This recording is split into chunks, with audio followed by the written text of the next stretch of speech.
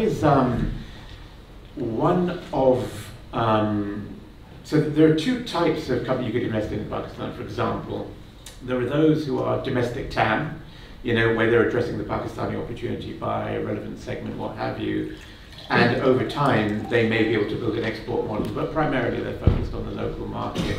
So if, I, if you were to take two lenses, which is, you know, investing in a business that sees Pakistan as its core, or investing in a business that is an exporter.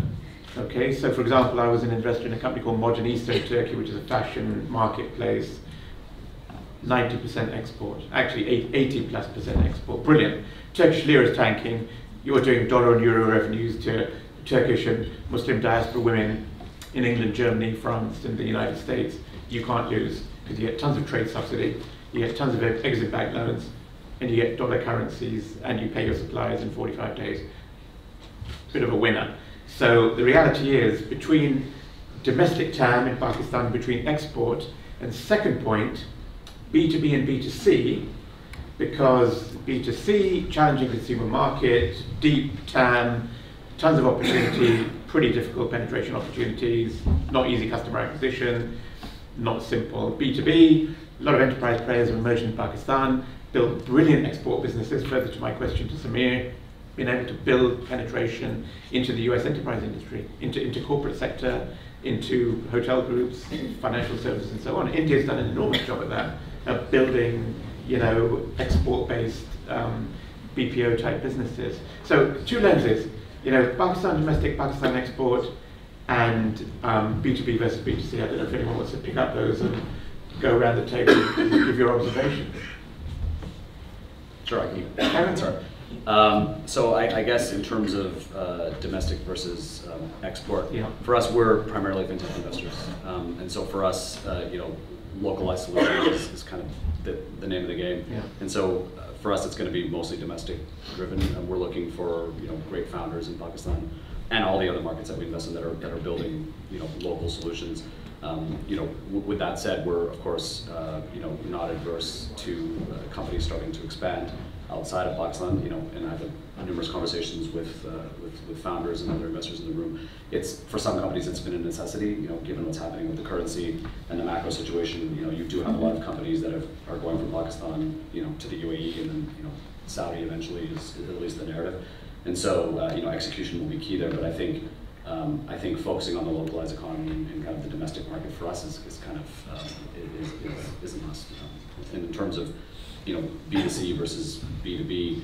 We do like, I think, you know, we're MENA investors, and so sometimes it's a, it's kind of a tale of a tale of two markets. You've got, you know, the high GDP per capita, um, low population centers like UAE, like uh, UAE, Saudi in particular, um, and then you've got kind of the longer tail uh, economies like Egypt, Pakistan, you know, Morocco, Algeria, Tunisia, if you kind of add it all up. And so what we tend to see is um, more picks and shovels businesses in the, in, in the smaller population markets for us. Um, so not quite enterprise, but definitely, you know, B2B. And then with the, the higher population, you know, you can't ignore B2C um, in terms of, you know, the countries that are 100 to 100 million people. So obviously, Egypt and Pakistan, we'll, we'll, see more consumer stuff there, but we tend to gravitate more towards B2B actually. Um, we like kind of like unsexy businesses that nobody really knows about that kind of, you know, that, that just kind of continue to generate revenue, lower, lower risk, et cetera. So that, that's for us at least. Go ahead. Yeah, we, uh, we uh, I don't know if any of you read uh, uh this article uh, Ammar Habib Khan I wrote in Profit uh, about a year and a half ago. We essentially talked about, if you didn't, you should. If you want it, I'll, I'll WhatsApp it to you. It's worth a read. It's really well written, even though I, if I say it so myself. Also, essentially what the business, what the, what the article said a year and a half ago was uh, the, uh, without infrastructure, the tech revolution won't happen. So we uh, uh eat our own cooking. So we essentially just focus on big building block businesses in uh, fintech, uh, mobility, and energy, and so on. For example, and this came out of losing money getting our asses kicked on higher value businesses, businesses that were, that were up, high up on the stack because the basic stack in Pakistan doesn't exist. For example, uh, a Korean entrepreneur wanted to build a big data center business And within two weeks, he realized that you can't find reliable, cheap energy. So, so a lot of these, so we, we went through about a dozen of these experiences and said, let's go earlier in the stack. So it's obviously, be, by, by definition, it's going to be B2B. And it's core stack, so it's energy, it's basic fintech, uh, uh, and mobility and so on. So for example, electrifying the transport network.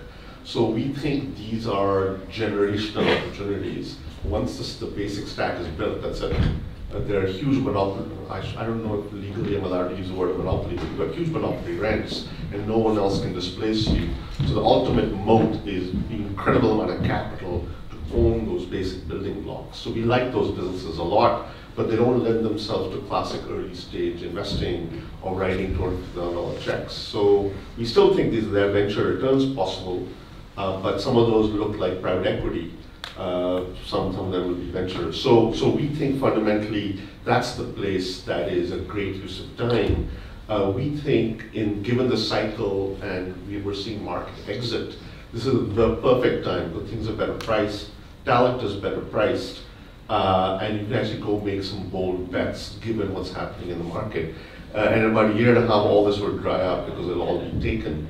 Uh, so we couldn't be more excited about where Pakistan is right now. Uh, and it's a helpful contrast to spend time in Saudi Arabia. It's in a very, very different place. While the demographics look, so very similar, that has nothing to do with why we're excited about Pakistan or about Saudi Arabia. So in summary, it's a great time to build fundamental building block businesses uh, that we did not have the chance to do in Korea or in Australia or in Taiwan, but we do have a chance in Pakistan. And shame on us if we can't take advantage of that. And on top of that, many of you will build great businesses. Frankly, you have a bit more time to do it because unless the building blocks exist, you won't be successful. Uh, and it's fundamentally B2B. Great. Any other observations? yeah, yeah. I, I, would add something on the uh, foreign exchange yeah. uh, arbitrage. Uh, I, I, I personally think that it should not be the uh, key differentiator, just because it's not sustainable. It's very hard to predict.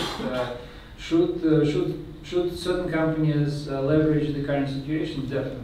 But uh, can you build uh, a sustainable company just because uh, you know the local currency is uh, being devalued, you know, every every single year? probably not. So it's not sustainable. So it's it's being devalued now, but potentially, you know, when situation stabilizes, you you might lose this kind of competitive advantage. Um, so uh, with regard to the you know other other points, uh, I'm totally agree with like the previous speakers.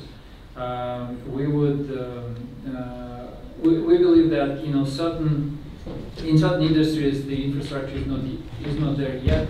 It's very nascent for you know Pakistan in terms of uh, pretty much everything, even like the source for talent, talent itself, source for talent being institutions or companies uh, that uh, are not there yet or not there yet in a, in a decent uh, number of companies. Um, and you know the fintech infrastructure, if compared, for example, to India with the UPI, um, so, but it will come, um, and um, hopefully in the, in the next two, three years, it, it, it will be much, like more mature ecosystem which would provide more opportunities. Any other points on that? Uh, sure. Uh, I'd like to add on in terms of the local TAM yeah. specifically. Um, so Pakistan definitely boasts that, that huge TAM, right? When you think about consumers, these are it's a large growing economy, young population, all of that.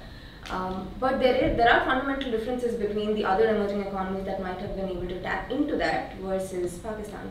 Um, if you take the example of Egypt, for that matter, um, the, their, their ability or propensity to consume those digital products might be a tad higher than in Pakistan, purely because of the fact that there isn't that much uh, fragmentation of the of, of the market itself.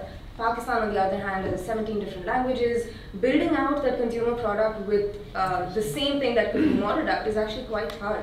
So you'd have to think about uh, truly catering to that local market to, to, be able to distribute that. And that, I guess, comes with the kind of infrastructure place that, that has that are the building blocks, and then eventually start building out companies that uh, cater to that, that consumer audience. That's a really interesting point because if you take India, similar thing of cultures, languages, provinces, etc., yeah. and, and have you know having invested in uh, Big Basket, and the same thing. You, language doesn't work, marketing collateral doesn't work in one place in India versus another.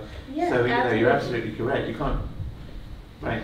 Yeah, so at, at, that point, so there are two things to consider there, right? So one, um, can those products be built uh, across these yeah. diverse um, uh, diverse population? But the second thing also goes in terms of uh, you need to reach that kind of critical mass to be able to consume those products in the first place. So in India, that sort of happened after the while. Sure, the digital revolution that started early on, but that kind of consumption really kicked in only, only over the last couple of years, right? Um, so that for Pakistan is, I think, uh, a difficult challenge, but it, it, it should slowly uh, bridge that gap over the years.